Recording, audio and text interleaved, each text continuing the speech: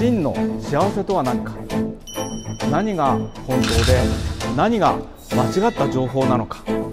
本当のことを知ったら目から鱗が落ちますよ。本当のことシリーズお楽しみください。本当のことシリーズ。え今日はねお葬式のマナーについてお話をしようと思います、えー、実はねえー、ごく最近のことなんですが僕のねフェイスブックにも書いたりをしてるんですが僕のねとても大切にしている方のねご夫婦で、えー、ずっとお付き合いをしている大切な方なんですが奥様がね、え、まあ残念ながら、え、大病を患ってお亡くなりになったということを経験しました。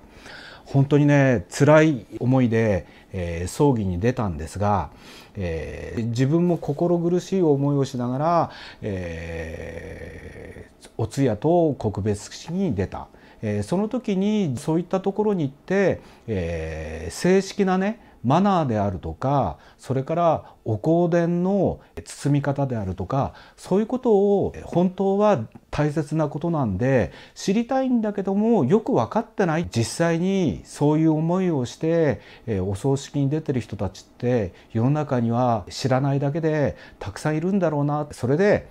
今回はえ「本当のこと」シリーズということでお話をすることにしました。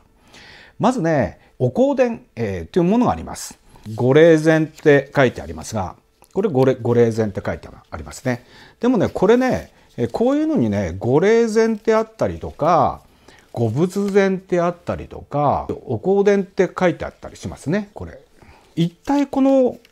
ご仏前とかお香典とかご霊前とかね、えー、どう違うのかっていうことについても、えー、違いがよくわからないという人もいると思います。それからこういう立派なね、えー、袋とこういう簡易な袋との違いっていうことも、えどっち使えばいいのということをわからない人もいると思います。それについてね、え解説をしたいと思います。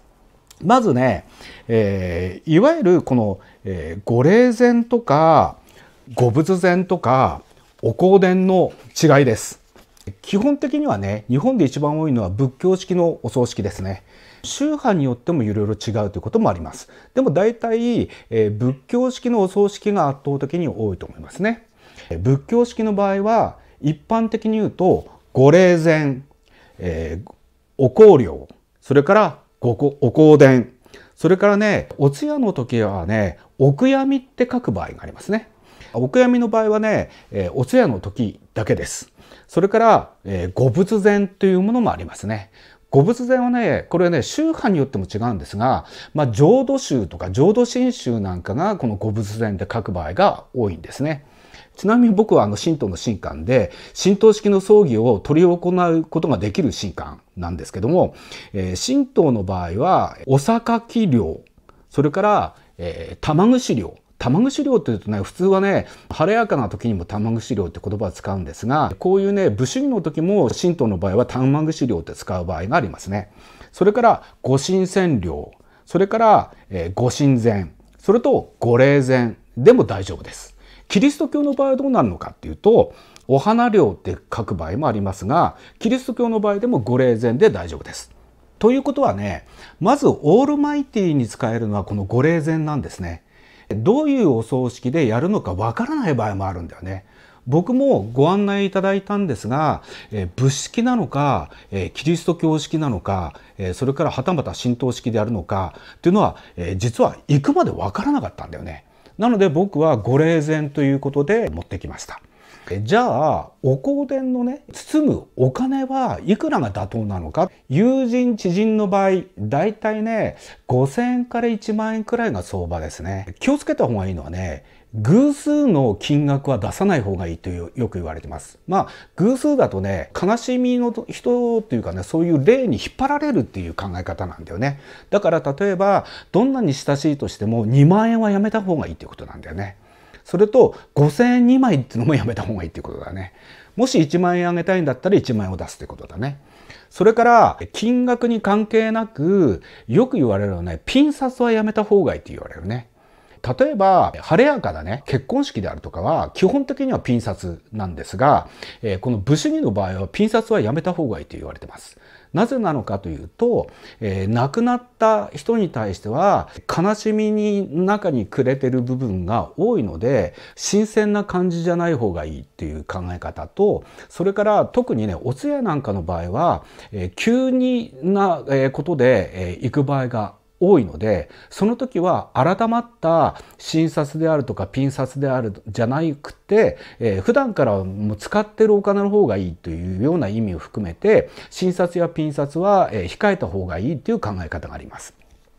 じゃあ会社の関係だったらどうなんだということなんですが会社の関係の場合は例えば上司にあたる方、えー、上司そのものであるとか上司の、えー、奥さんであるとかそういった場合はだいたいこれも5,000円から1万円くらいが、えー、妥当じゃないかと言われています。じゃあそこまでじゃないけど同僚が亡くなったもしくは同僚の奥さんが亡くなったとか同僚の息子さんが亡くなったとか娘さんが亡くなったとかっていう場合この場合は一番重要なのはお香典の金額じゃないんだよね。まずは、えー、ハセ参じてモニモニフスっていう方が重要なのでそこは金額の問題ではないと言われてますね。なので場合によっては1,000円でも構わないっていう考え方もあります。えー、じゃあ1,000円じゃちょっとね少ないなと思うんであれば例えば3,000円であるとかねこれはありだということですね。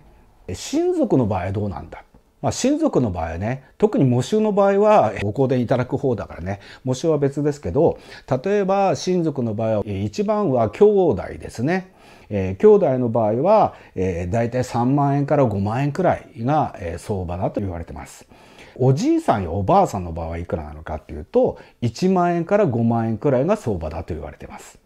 おじさんやおばさんはこれも1万円から3万円くらいだ。いとこの場合はどうなんだっていうと大体3000円から1万円だというふうに言われてます。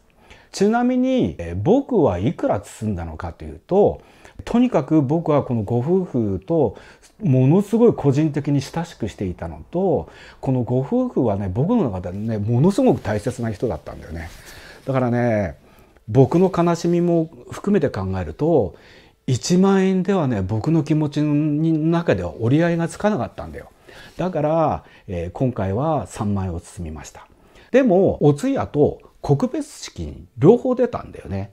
もちろん、えー、僕は今長野に住んでるんだけど、えー、東京で行われたわけですよ。ということはお通夜と告別式に出るということは僕はわざわざ東京に行って一泊をして両方出るっていうこともあるからそれは「えー、丸さん来てくれたのかありがとう」っていうね気持ちは必ず伝わる。そうするとその人はいろんなことに対して気配りのできる方だっていうのも知ってるので僕が言ったらね金額の問題でではなくって僕がねそれなりにいろいろとまあいろんな仕事をもう抱えてるのでね暇な人ではないってことも知ってるからということはわざわざ、えー、仕事も休んでプライベートなことも休んで東京まで行って一泊して出てくるってことは本当は1万円でもいいわけだよ。えー、その人にとっては丸さんがわざわざ来てくれたそれだけでも十分価値があるって思ってくれてるのは分かってる。だけど僕は、えー、それはあえて3万円を包んだということなんだよね。そしてお通夜と告別式に両方出る場合は、えー、2日間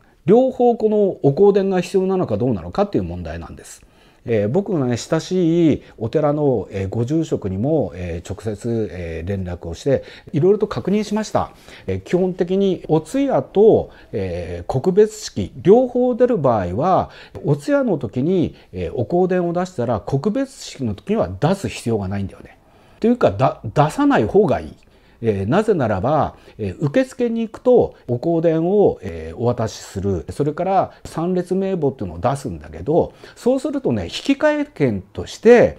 香典返しっていうね、え、ものをいただいちゃうんだよね。そうすると2回出すと2回香典返しを出さなくちゃいけないっていう喪主さんの方にかえって負担をかけてしまうってことがあるので2つ行く場合は片方だけでいいということなんだよね。これも覚えておくといいと思います。それから細かいことですけど、えー、もちろん服装のね、えー、チェック、えー、できるだけ過敏じゃないような、えー、形でしていくっていうのがいいなと思います。洋服でも着物でもいいんですが僕の場合は着物をたくさん持ってるので、えー、こういう武士着のね、えー、お着物で、えーまあ、参列をするということをいたしました、えー、女性の場合はね着物で、え、参列をする場合も多いんですが男性でね、えー、お葬式に着物で、え、参列をする人っていうのはまああんまりないですね。僕はねこの間行った時はお着物のね方が一人だけいらっしゃいました。その方はね僕の知り合いでもあったんですけどもその人はね伝統芸能のいわゆる能の関係の方でしたから、えー、まあ、当然そういう着物姿で行ったということなんですけどそういうことも一つのしきたりとしてちゃんとした、えー、スタイルでいくっていうのはやっぱり素敵だなと思いました。それからお花を、えー、祭壇に、えー、差し上げたりお焼香をするってことがありますね。お焼香、えー、よく知らない人はねお焼香の仕方もちゃんと分かっておいた方がいいと思いますまずお焼香はね指でひとつまみをしたらまず基本的に額にこうつけてお焼香をやるんですけど大体3回が、えー、基本ですね、えー、1回やってやってやってそしてお亡くなりになっている人に魂が安らかであるようにそれから残された遺族の方たちが苦しまないようにできる限り早く悲しみから立ち直れるようにお祈りするってことがいいと思います。そして献花をしたりお花をあげたりとかね。それから喪主の人たち家族の人たちがいるのでそちらに向かって厳かに挨拶をする。参列をしてる人たちにも挨拶をする。よね参列してる人たちにも挨拶をするってことをします。ここも、えー、慌てずに、えー、厳かに、えー、静かにきちんとやっていくっていうことはね作法がきちんとできるとやはりね人間としての何というかな格というとちょっと言い過ぎかもしれませんけど社会的なね信用も得ていくことができると思いますのでそういうこともきちんと分かってできるといいかなと思います。そしてお葬式があった時に特に自分のね身内のお葬式があった時にその後に神社に行っちゃいけないっていう話がありますね。神道とお葬式のことに関してはまた別なところでお話をしようと思ってます、えー、神道のしきたり自分の身内が亡くなった時に喪に服すっていうことがあるんですが喪中であるとか気中っていう問題があります。これに関してはね、これを話をするだけで、やはりね、10分くらいかかるので、これはまた別のところで、本タウのことシリーズということでお話をしたいと思います。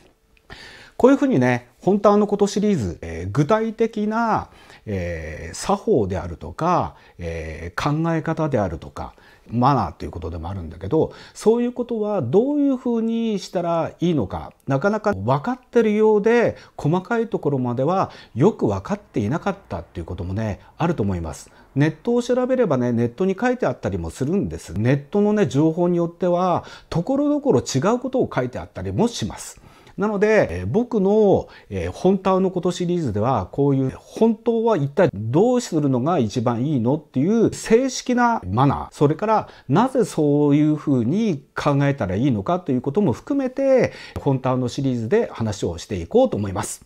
ということで、えー、良かったと思う方は、えー、高評価ボタン、そしてまだチャンネル登録をしてない方は、チャンネル登録よろしくお願いいたします。じゃ、